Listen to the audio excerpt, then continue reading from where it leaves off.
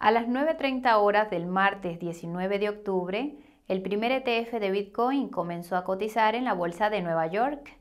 En 30 minutos, el ETF de futuros de Bitcoin de ProShares registró un volumen de operaciones de más de 250 millones de dólares. Cuando los mercados cerraron, le faltaban 10 millones para alcanzar los mil millones de dólares de volumen de negociación diario.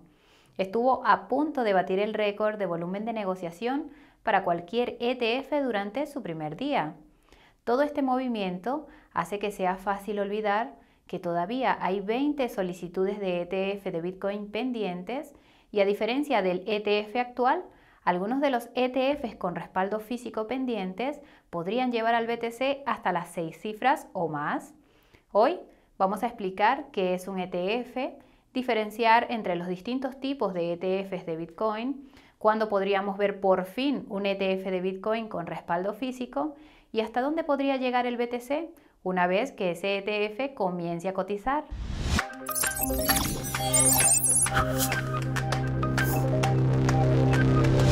Antes de que podamos empezar el espectáculo, tenemos que superar un pequeño obstáculo.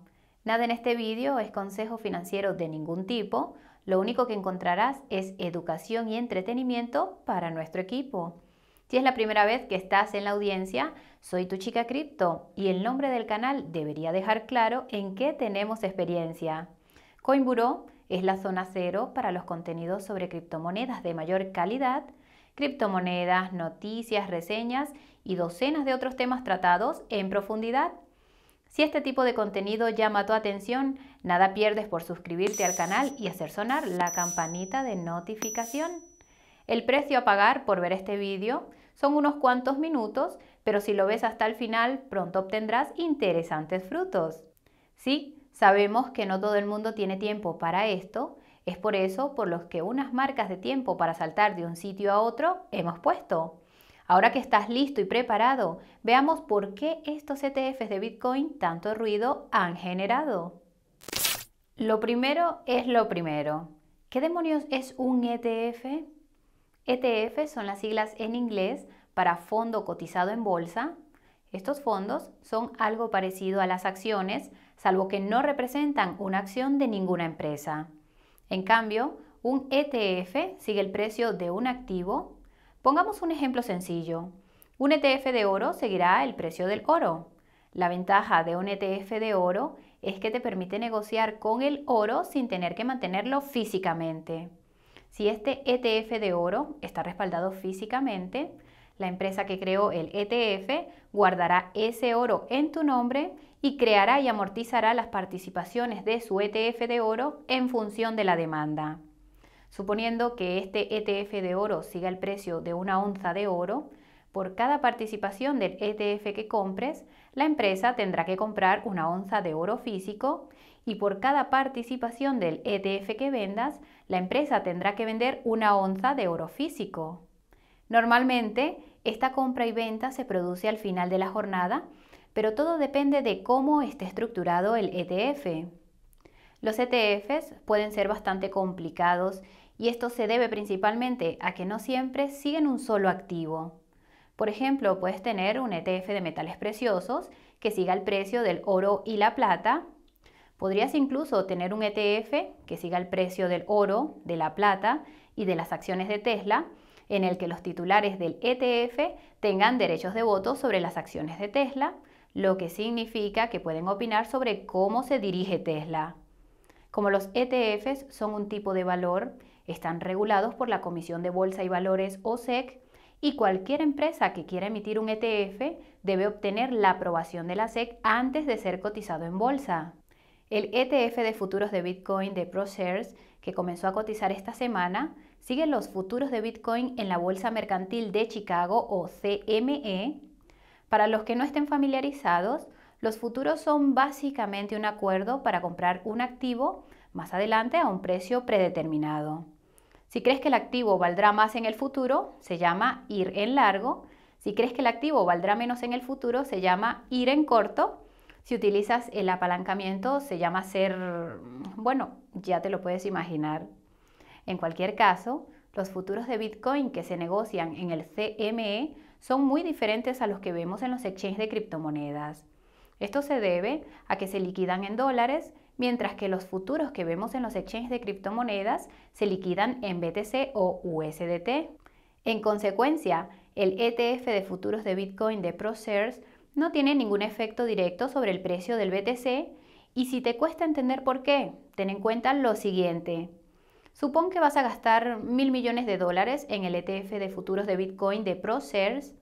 Cuando lo hagas, ProShares tiene que ir al CME y comprar mil millones de dólares en contratos de futuros de Bitcoin en tu nombre y darte participaciones del ETF que representan los contratos de futuro de Bitcoin que acabas de comprar. Como los contratos de futuros de Bitcoin del CME están respaldados por dinero en efectivo, no hay presión de compra para el BTC, sino para los contratos de futuros de Bitcoin, que son básicamente trozos de papel con números. Lo único que hace esto es crear una enorme discrepancia entre los precios de los futuros de Bitcoin entre el CME y otros exchanges de futuros que cotizan BTC, lo que les encanta a los fondos de cobertura porque pueden obtener beneficios de la diferencia. Estamos hablando del arbitraje, amigo.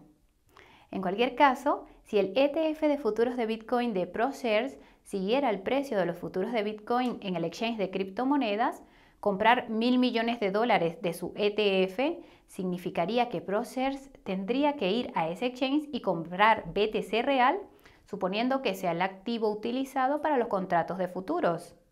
Esto tendría un efecto directo en el precio del BTC porque ProShares estaría comprando BTC reales, no solo trozos de papel con números. Ahora bien, sabemos lo que estás pensando, pero chica cripto, el BTC ha subido desde que el ETF de futuros de Bitcoin de ProShares empezó a operar. Y sí, somos muy conscientes de ello. La cuestión es que este movimiento del precio está siendo impulsado principalmente por el hype que se le ha estado dando a la publicación de un ETF de futuros de Bitcoin hype que se había estado construyendo durante semanas. Otro factor por el que el precio del BTC sigue subiendo tiene que ver con la validez que la cotización de futuros de Bitcoin da al Bitcoin y a las criptomonedas como clase de activos. Durante mucho tiempo, las instituciones creyeron que las criptomonedas no eran más que dinero de Internet, pero este sentimiento ha dado un giro de 180 grados en el último año. Se han publicado múltiples informes a su favor tanto por parte de los bancos como de los gestores de activos y no se trata solo de palabrería. El ETF de futuros de Bitcoin de ProShares fue el segundo valor más negociado por los clientes de Fidelity. Para poner las cosas en perspectiva, los clientes de Fidelity tienen más de 11 billones de dólares en activos. La cotización de un ETF de futuros de Bitcoin es el momento decisivo que abre la puerta a lo que todo el mundo está esperando y es un ETF de Bitcoin con respaldo físico. Como su nombre indica, un ETF de Bitcoin con respaldo físico o al contado sigue el precio real del BTC, no el precio de los contratos de papel en una bolsa de futuros. Si se gastan mil millones de dólares en un ETF de Bitcoin al contado, la empresa que proporciona ese ETF tendría que ir a un exchange de criptomonedas y comprar mil millones de dólares de BTC físico Lógicamente, esto tendría un efecto directo en el precio de BTC. ¿Sabemos lo que estás pensando? Pero chica cripto, ¿no tenemos esta opción ya disponible con el fondo de Bitcoin de Grayscale? Bueno, sí y no. Como mencionamos en nuestro vídeo de marzo sobre los ETFs de Bitcoin, aunque Grayscale tiene BTC, su fondo de Bitcoin no sigue realmente el precio de BTC, al menos no de manera exacta. Esto se debe a que estos fondos solo pueden crear y reembolsar participaciones tras confirmar el cambio con la SEC, mientras que las participaciones de los ETFs se crean y reembolsan al final de cada día cuando las empresas liquidan las tenencias de los activos que respaldan sus ETFs.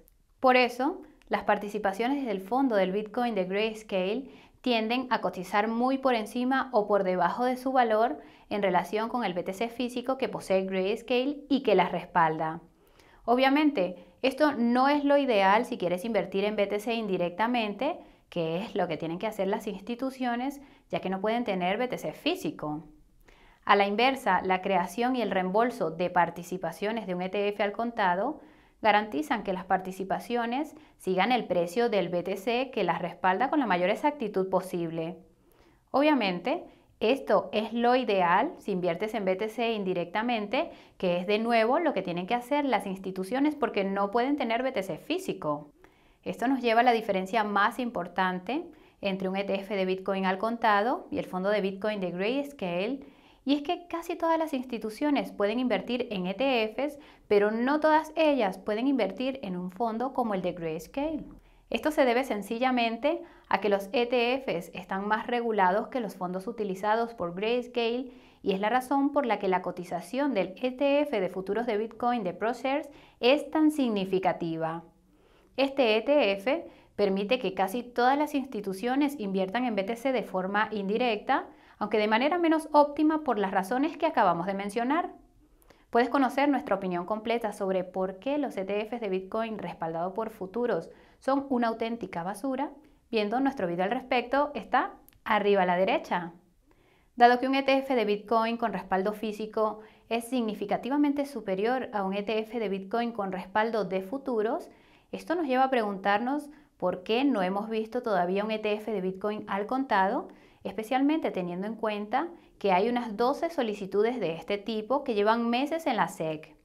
El presidente de la SEC, Gary Gensler, fue preguntado al respecto en la CNBC momentos después de que el ETF de futuros de Bitcoin de ProShares empezara a cotizar.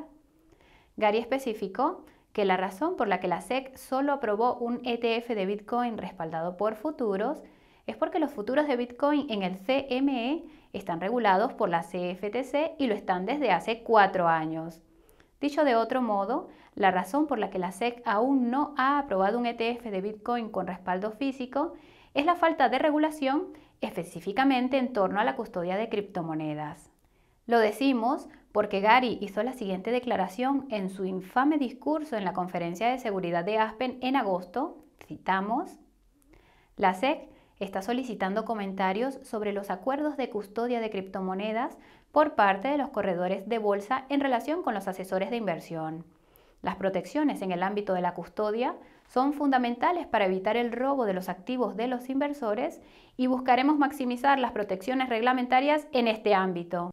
Si estás al día con el canal, sabrás que esto es algo que ya hemos mencionado muchas veces y nuestra teoría es que la SEC está esperando a que los bancos terminen de construir sus servicios de criptocustodia antes de aprobar un ETF de Bitcoin al contado. Obviamente, esto se debe a que no hay ningún custodio de criptomonedas de tercero que sea más fiable que un banco, ¿verdad chicos? De todos modos, estamos bastante seguros de que las normas de custodia no son lo único a lo que está esperando la SEC Gary ha dicho muchas veces que el mercado de las criptomonedas es muy volátil y especulativo. Creemos que es razonable suponer que él y la SEC quieren ver lo volátil y especulativo que puede llegar a ser el Bitcoin utilizando un ETF de Bitcoin respaldado por futuros como patrón de medida. Lo que queremos decir es lo siguiente. Como hemos mencionado al principio del vídeo, el ETF de ProShares registró más de mil millones de dólares en volumen de negociación durante su primer día.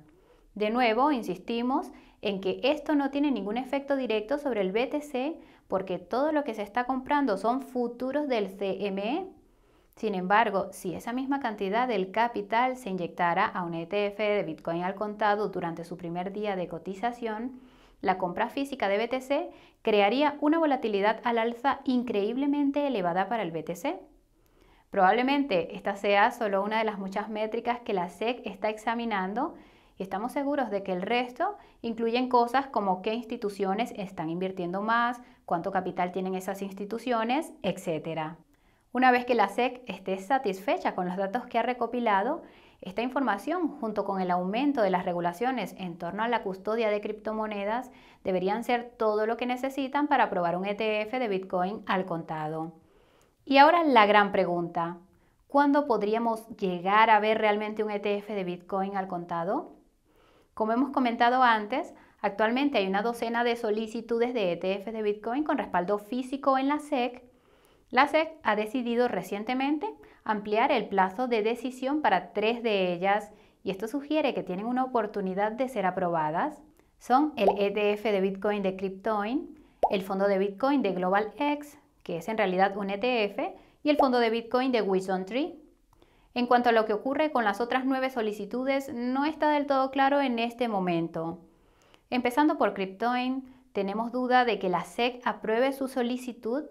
Esto se debe a que Cryptoin no parece tener ninguna experiencia previa en la cotización de ETFs y toda su estrategia consiste en presentar con éxito ETFs de criptomonedas ante la SEC.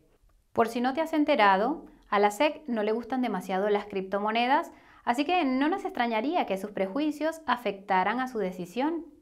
Cryptoin presentó por primera vez su ETF en octubre de 2019 y lo volvió a presentar en abril de este año, después de que su primera presentación fuera rechazada por la SEC. La ampliación del plazo de decisión de Cryptoin hasta el 24 de diciembre es ciertamente prometedora, pero parece que GlobalX tiene más posibilidades de conseguir que un ETF de Bitcoin pase por la SEC. Esto se debe a que GlobalX ha presentado con éxito casi 90 ETFs y custodia más de 40 mil millones de dólares en activos para estos ETFs. Este historial probado es el tipo de seguridad que busca la SEC. La SEC tiene que tomar una decisión sobre el fondo de Bitcoin de GlobalX antes del 21 de noviembre, por lo que sabremos más o menos en esa fecha si han conseguido pasar el corte. En nuestra opinión, la mejor apuesta es Wisdom Tree.